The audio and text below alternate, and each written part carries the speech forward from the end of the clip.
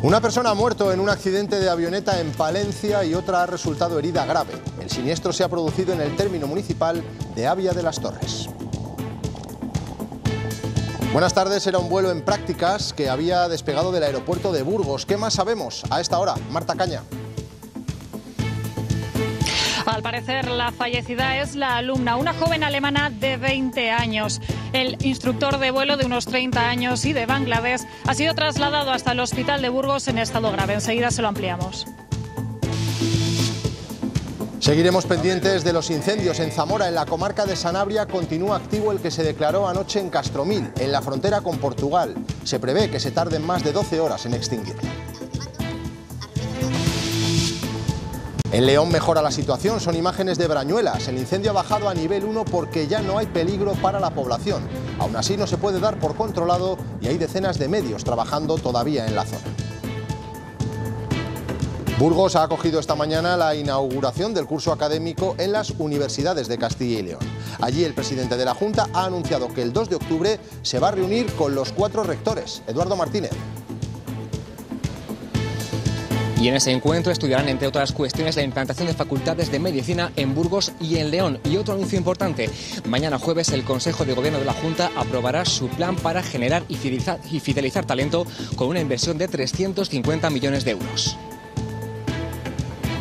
Creo en el talento como combustible esencial del progreso de Castilla y León. Y desde luego las universidades sois pilares fundamentales para ello. La Dirección Nacional de Vox será la que imponga las condiciones en la negociación de los presupuestos en las comunidades autónomas. La decisión saldrá de Madrid, así lo ha reconocido hoy el secretario general de la formación en su visita a Valladolid. Sesión de control al gobierno. Pedro Sánchez está convencido de que acabará la legislatura, aunque no consiga apoyos en el Congreso. Hoy en el Pleno, tanto Esquerra como el PP le han recordado su fragilidad. Andrea Altelarrea. Sí, le han puesto de ejemplo precisamente la votación de ayer en la que no pudo sacar adelante la modificación de la ley de arrendamientos temporales. Tanto Esquerra como los populares le han preguntado que qué piensa hacer a partir de ahora si ya no cuenta ni con el apoyo de Junts. El mundo de la, de la, defensa cada vez está más afectado por el uso de la tecnología y por lo tanto eh, la posibilidad de que un ciberataque acabe teniendo un impacto en la defensa es cada vez más notable. Es el director de operaciones del INCIBE que ha hablado de estas explosiones controladas en el Líbano contra miembros de Hezbollah. Advierte que las intervenciones de este tipo en dispositivos como los buscas o los móviles serán cada vez más frecuentes. El 1 de octubre comienza la campaña de vacunación contra la gripe y el COVID en Castilla y León. Primero los grupos de riesgo y a partir del día 14 el resto. Sanidad dará facilidades a toda la población. Paco Gómez. El 14 de octubre comienzan las inmunizaciones contra la gripe. Comenzarán, como es habitual, con los grupos Diana, colectivos con especial riesgo. Pero la gran novedad es que a partir del 18 de noviembre podremos recibir la vacuna sin necesidad de cita previa, acudiendo simplemente a los centros de salud. Temperaturas agradables esta tarde en Castilla y León, sobre todo en el norte, por encima de los 25 grados en muchas provincias. La fuerza del viento se reduce de forma considerable en la meseta. También les daremos un aperitivo del Campeonato Mundial de Puzzles. Se celebrará esta tarde en Valladolid, pero esta mañana han intentado batir un récord Guinness para montar lo más rápido posible uno de 2.000 piezas. Veremos si lo han conseguido.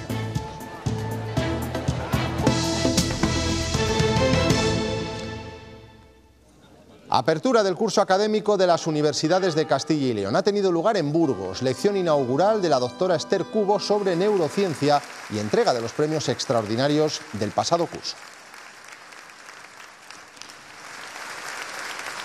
Ese acto ha contado con la presencia del presidente de la Junta. Fernández Mañueco ha puesto fecha para la reunión con los cuatro rectores de las universidades públicas para hablar de financiación y de nuevas titulaciones. Eduardo.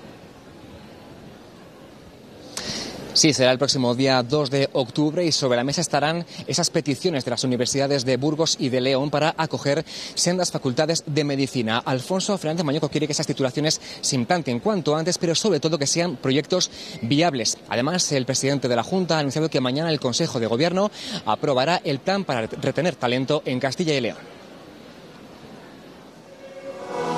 Hablar de educación en Castilla y León es apostar por la excelencia. Y por ello, la Junta aprobará mañana el Plan Integral del Talento, 350 millones de euros hasta 2027 para generar, atraer y fidelizar el talento en Castilla y León.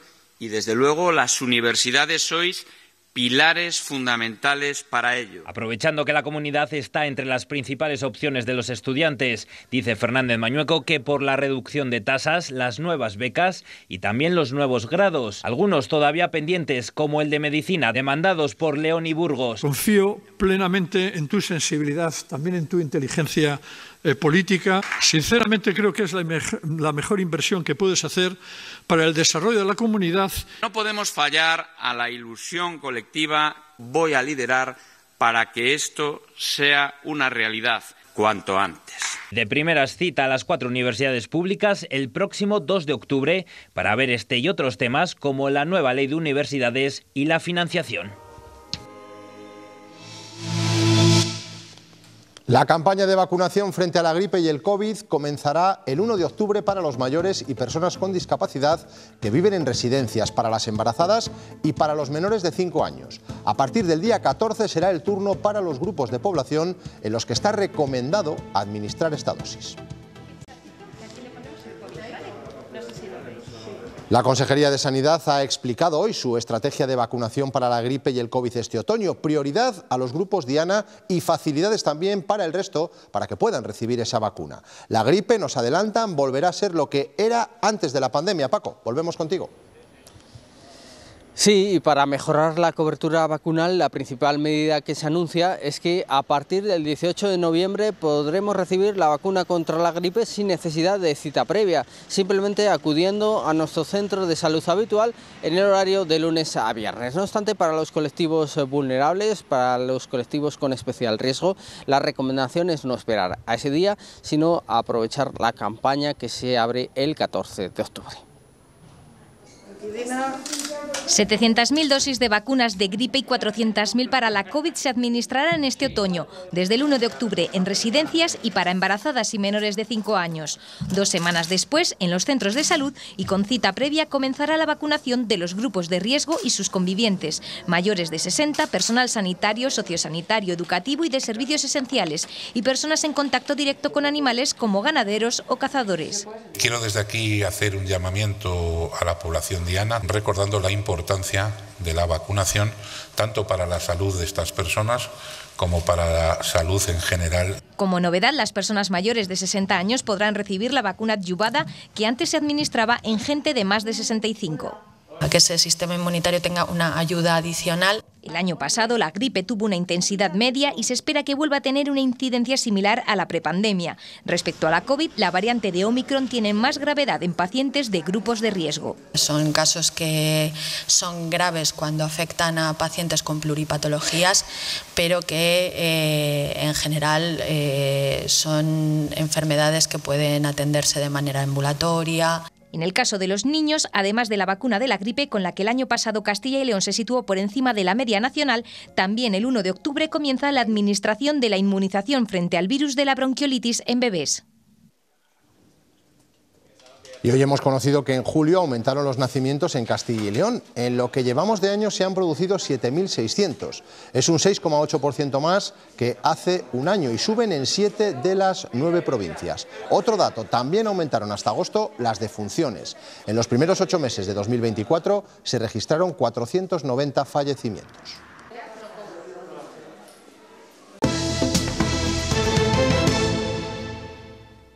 Una avioneta se ha estrellado en la provincia de Palencia, en la localidad de Avia de las Torres. La piloto ha fallecido, estaba realizando prácticas de vuelo. Junto a ella iba su monitor, que está herido grave. Marta. Era sobre las diez y media de la mañana cuando el propio aeropuerto daba la voz de alarma. El helicóptero del servicio de emergencias localizaba en esta tierra de labor de Avia de las Torres, en Palencia, la avioneta. La joven alemana de 20 años pilotaba esa avioneta y ha fallecido. El instructor de vuelo de unos 30 años de Bangladesh ha sido trasladado hasta el hospital de Burgos en helicóptero en estado grave. De momento se desconocen las causas del accidente. El incendio de Brañuelas en León ya se da por estabilizado, ha bajado a nivel 1 de peligrosidad. Siguen preocupando las zonas calientes por la posibilidad de que se reactiven las llamas, pero las dos localidades del Bierzo, que estaban confinadas, ya están fuera de peligro y los vecinos pueden salir de sus casas. Andrés Berlanga. Sí, ha bajado ya a nivel 1, no se da por controlado, pero sí está estabilizado. Siguen preocupando las posibles reactivaciones, pero ya están desconfinados Tremor de Abajo y Almagarinos, porque el frente que avanzaba directamente hacia estas dos localidades ya está apagado y enfriado. Todavía no hay un perímetro establecido de terreno calcinado, pero superaría las 450 hectáreas. Ahora quedan solamente una veintena de medios trabajando de los más de 90 que han llegado a participar en las labores de extinción. Las causas del incendio siguen bajo investigación y desde el puesto de mando avanzado desmienten cualquier especulación que esté circulando sobre su origen. Estamos trabajando en enfriar eh, todo lo que se pueda el borde, pero sigue habiendo muchas zonas muy calientes, como es un término que utilizamos nosotros. Entonces, esas eh, zonas calientes tienen un riesgo alto. Ahora a mediodía, a mediodía eh, se deseca más la vegetación por la insolación, sopla más viento, entonces eso puede avivar, reactivar reactivar esos puntos calientes. Entonces, eh, no lo podemos dar por controlado porque en cualquier momento eh, se levanta otro punto de esos y tenemos que hacer un gran esfuerzo otra vez de, de extinción. Otro incendio también de nivel 1 continúa activo en Zamora, es en la localidad de Castromil, prácticamente en la frontera con Galicia. El operativo de extinción lleva trabajando desde el día de ayer. Pablo Carretero. La evolución del incendio es favorable, pero todavía queda mucho trabajo por hacer. La peor parte parece que ha quedado atrás y ocurrió en la noche de ayer, donde las llamas amenazaban la localidad de Castromil. Allí los vecinos han perdido bienes materiales, como por ejemplo algunos castaños que tenían los habitantes de este pueblo. Hoy por la mañana han continuado los trabajos, tanto por la tierra, donde las patrullas terrestres están sujetando la cabeza del incendio, como por el aire, donde los hidroaviones y los helicópteros, aparte de apagar el fuego, están realizando labores de reconocimiento. Eso sí, van a tener que tener en cuenta el carácter cambiante del aire.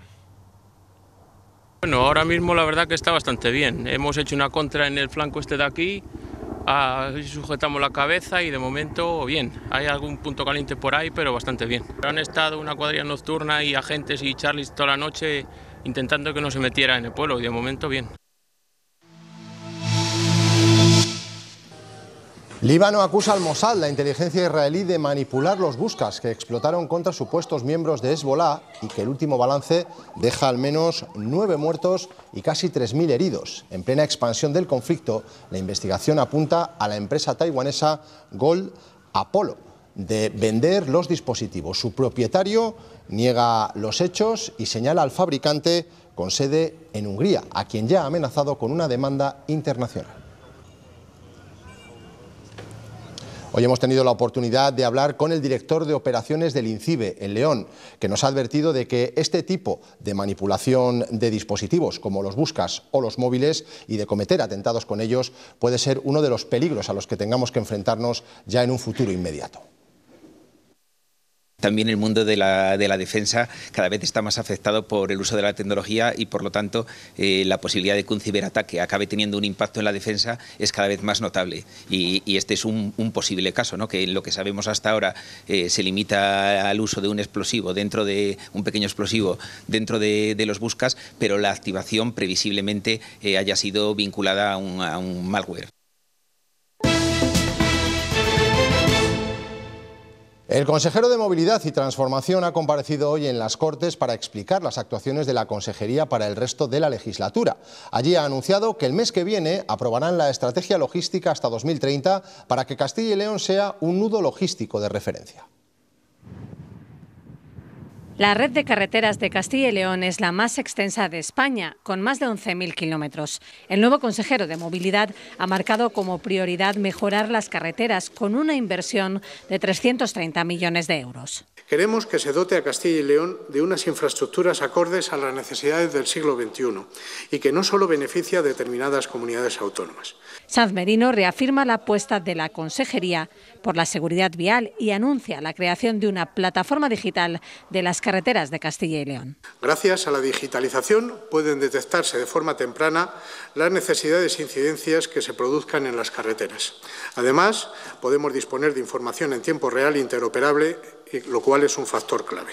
Trabajarán en el nuevo mapa autonómico de transporte y seguirán las bonificaciones. Sobre transformación digital, el objetivo es mantener a Castilla y León en la vanguardia tecnológica. Pondremos en marcha un nuevo sistema de teletramitación con notables mejoras y, entre otras, disponer de formularios precumplimentados por la Administración, permitir el pago de tasas y adjuntar documentos almacenados previamente. En esta materia también ha sido reivindicativo con el Gobierno. Pide presupuesto para mejorar la cobertura de la televisión digital terrestre.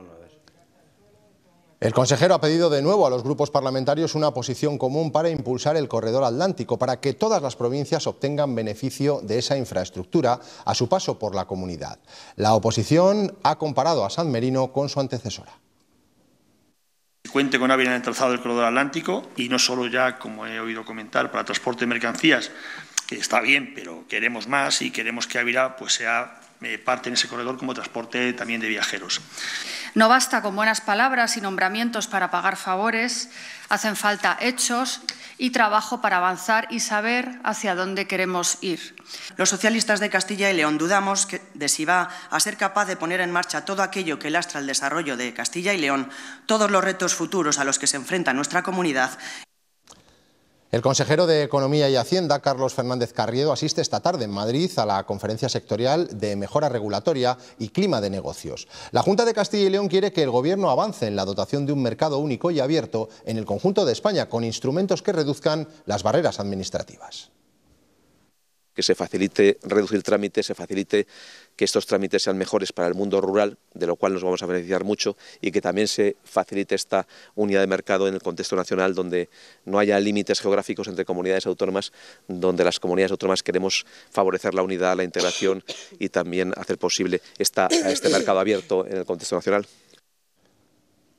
Se complica que Vox apoye los próximos presupuestos de la Junta. Así lo ha asegurado hoy su secretario general, Ignacio Garriga, antes de reunirse con sus parlamentarios en Castilla y León. Además de amenazar con romper con el PP en aquellos ayuntamientos donde se incumplan los pactos, Garriga ha cargado contra los populares por sus pasos tras la ruptura del gobierno de coalición con Mañueco. Le ha faltado poco tiempo de que Vox saliera del Gobierno para irse a abrazar a los sindicatos. Le ha faltado poco tiempo para que la consejera de Agricultura ya empiece a abrazar la Agenda 2030 y diga las políticas que va a impulsar. Y parece que les va a faltar tiempo para meter en el cajón la ley de concordia. Si hay que tumbar unos presupuestos en Castilla y León, pues se tumbarán. Y Pedro Sánchez insiste en que conseguirá acabar la legislatura a pesar de varias derrotas parlamentarias del Gobierno. Lo ha dicho en el Congreso, donde Esquerra Republicana le ha advertido sobre su debilidad y ha tenido que escuchar críticas del PP al plan de regeneración presentado por Moncloa. Volvemos a Madrid. Andrea Altelarrea.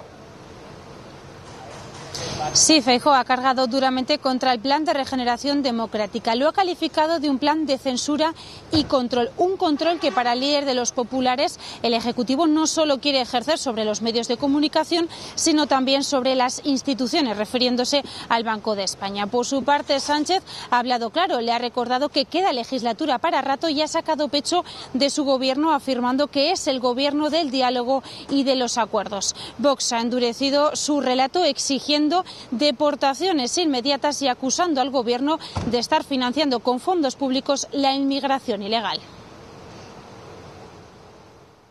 El Partido Popular carga contra la deriva autoritaria que atribuye al Gobierno tras la presentación de su plan de regeneración.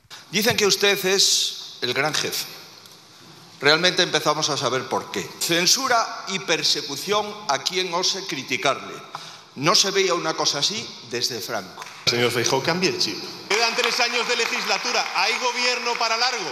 Abandone esa oposición avinagrada. Sánchez asegura que terminará la legislatura. Lo hace un día después de otra derrota parlamentaria. Ayer el Congreso tumbó la tramitación de la regulación del alquiler temporal por el rechazo de Junts. Hoy Esquerra Republicana le recuerda su debilidad. Un bloque nuevo que se está conformando.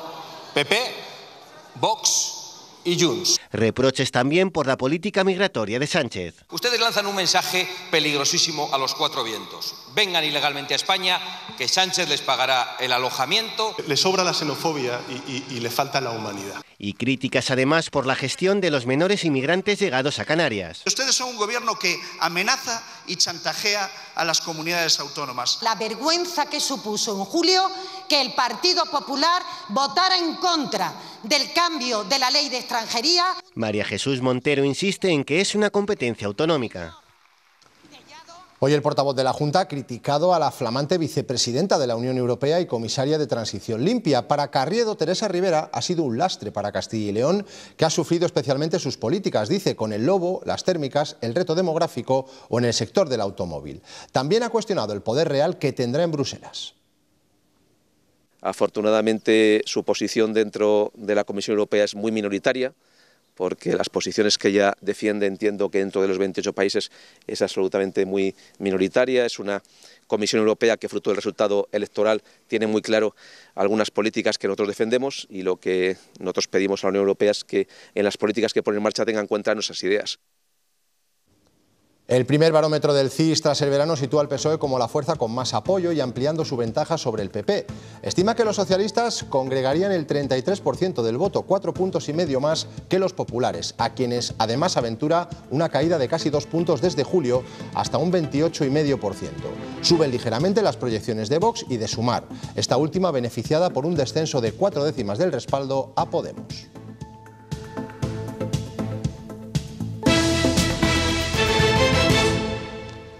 La pobreza infantil severa ya alcanza el 14% de niños en Castilla y León, una cifra que está por encima de la media nacional y que ha empeorado en el último año. Ana Rayaces. Y entre los motivos que podrían estar detrás de esta altísima tasa de pobreza infantil están las escasas ayudas a la crianza, los bajos salarios de los trabajadores y un insuficiente parque público de viviendas. 47.000 menores viven en situación de pobreza extrema en la comunidad, familias que viven al día y que no tienen ni siquiera para cubrir los gastos de los alimentos más básicos. Ha habido un gran incremento de la, de la tasa de pobreza infantil en Castilla y León en el último año. Y además es una de las poquísimas veces en las cuales ha, ha superado la, la media nacional. La tasa de pobreza infantil es alta, altísima, y lo es también en España. Ambos encabezan la lista de países europeos con mayores índices de pobreza en la infancia. Es inaceptable que España tenga esta tasa AROPE, esta tasa de pobreza infantil que tenemos en la actualidad. Familias que no pueden hacer frente a ningún imprevisto y este es un problema estructural en España y en Castilla y León. Una propuesta, por ejemplo, es implementar mejoras en la renta garantizada de ciudadanía para que al final llegue a más, a más familias en situación de vulnerabilidad. También mejorar las ayudas orientadas a los hogares vulnerables, por ejemplo, haciendo que el bono térmico pues llegue a más, a más familias. La plataforma de organizaciones que ha elaborado este informe asegura que la pobreza de la infancia está en un nivel muy superior al que correspondería a un país como el nuestro. A comienzos del próximo año, el servicio Mediacil estará operativo en toda la comunidad, con la apertura de las sedes de Valladolid y León, que se sumarán a las de Burgos y Salamanca.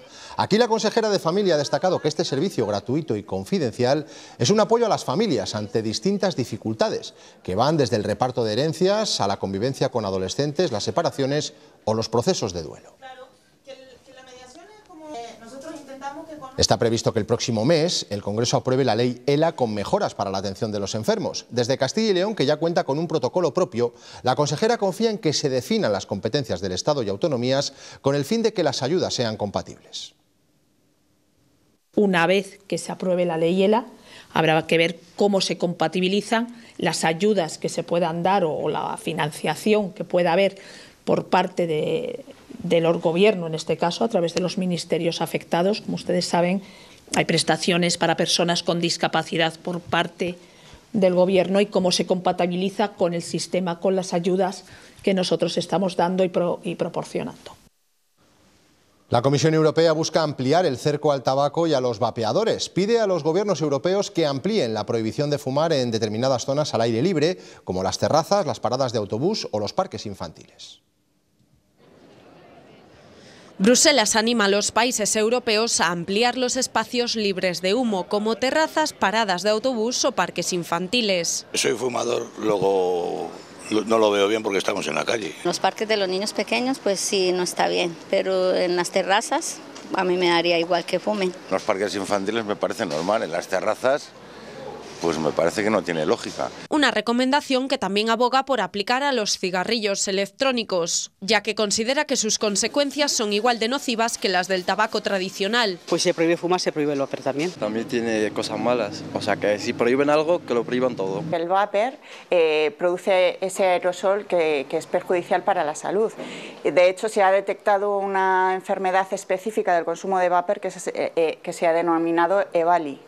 Un debate que se abrió hace unos meses cuando Sanidad presentó el Plan Integral para la Prevención y Control del Tabaquismo, cuando propuso ampliar los espacios libres de humo. Ahora la nueva propuesta de Bruselas sigue sin convencer a los hosteleros. A mí me parece muy mal, porque la gente que viene a las terrazas, claro, quiere fumar porque es un espacio libre, claro. Si le quitamos eso también. El cigarrillo electrónico es el dispositivo de fumar más demandado por los jóvenes. Cuando les pica la curiosidad del tabaco, pues si no les gusta el propio sabor o algo así. Entonces, bueno, estos son aromas frutales. Por eso el Ejecutivo Comunitario se compromete a ofrecer apoyo económico a los países que refuercen las zonas libres de humo. En Unicaja te ayudamos a destapar el potencial de base que llevas dentro. Unicaja te atreves y la vida se abre. Zamora coge hoy la séptima jornada del proyecto Uniendo Moda que impulsan la Junta y la COE. Un proyecto que abarca ámbitos como la participación en ferias y pasarelas, la incubación de empresas o el apoyo a nuevos diseñadores. Concretamente, en la sesión de hoy se analizarán las estrategias de marketing y posicionamiento dentro de un sector que cada vez cobra más importancia en nuestra comunidad con 504 empresas casi un 5% de la industria castellano y leonesa es del sector de la moda. Genera empleo, genera economía, genera economía, más de 200 millones de euros anuales se está facturando esta industria al año en nuestra comunidad autónoma y podemos decir en los datos de septiembre de afiliación 2.300 personas afiliadas a la Seguridad Social en este ámbito de la moda. Este mediodía se ha celebrado la Comisión Ejecutiva Anual de la Federación Española del Vino en Bodegas Protos, en Peñafiel, Valladolid. Es la primera vez que se reúnen en Castilla y León después de la elección de Pedro Ferrer como presidente. Al evento han asistido algunas de las bodegas más emblemáticas de España, como el Grupo Freixenet, Bodegas Riojanas, Matar Romera o Alma Carraovejas. El tema de la comisión de este año es la actualización del plan contra el cambio climático en los viñedos. Hemos aprobado un plan para de cinco años hasta el año 29, ¿no? con, con, diversas medidas. Llevamos arrastrando dos, tres años muy negativos, sobre todo pues eh, recursos hídricos, o sea, riego, aunque la viña siempre ha sido un cultivo de secano, pero parece que eso ya de cara al futuro no va a ser viable y vamos a necesitar pues un poco de riego de apoyo en, amplias zonas. Bienvenidos un día más a la retransmisión de uno de los deportes más sacrificados del mundo, levantamiento de hijo. Vemos a Manuel muy concentrado como siempre. Miguelito arranca la carrera. Manuel se prepara para iniciar la subida de niño como marcan los cánones y lo ha logrado. Presentamos Pascual Dynamic Protein, con proteína para ayudar a tus músculos. Vivir un deporte maravilloso. A las 4 de la tarde comienza el Campeonato Mundial de Puzzles en Valladolid, pero ya esta mañana hemos visto aparte de los 2.400 participantes de 70 países en acción. 25 equipos han competido para batir un récord Guinness en montar un puzzle de 2.000 piezas. Buscar y buscar hasta encontrar la pieza correcta entre 2.000 es difícil. Este es un puzzle difícil. Vamos bien, un poco complicado, pero bien. Los nervios juegan malas pasadas y algunos hasta se quitan los zapatos. Los deja bajo la mesa, nos cuenta para estar más cómoda porque quieren batir el récord Guinness. Una hora 24. Y este año vamos a intentar a ver si la delegación española consigue ser la primera en acabar. Pero es difícil. Está muy, muy cargado de detalles. Y eso es lo más difícil para este puzzle. Y el que sean 10 personas, entre 10.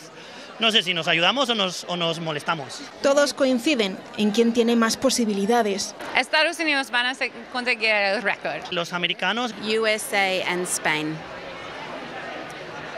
Australia, come on, Australia. No. Intentamos hablar con ellas. Oh, no. Pero no quieren, están concentradas, tanto que antes de llegar a los 50 minutos, cuando otros aún están casi empezando, lo consiguen.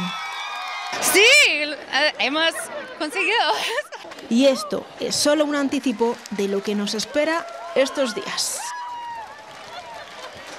Y ya conocemos la película española elegida por la Academia de Cine para representarnos en los Oscars. Desvelaba su nombre el actor Eduardo Noriega. Es segundo premio. Es la película inspirada en la historia del grupo musical Los Planetas. Isaki Lacuesta y Paul Rodríguez firman segundo premio. Competirá en Hollywood en la categoría de mejor película internacional. Y es que Granada es la única ciudad con nombre de bomba.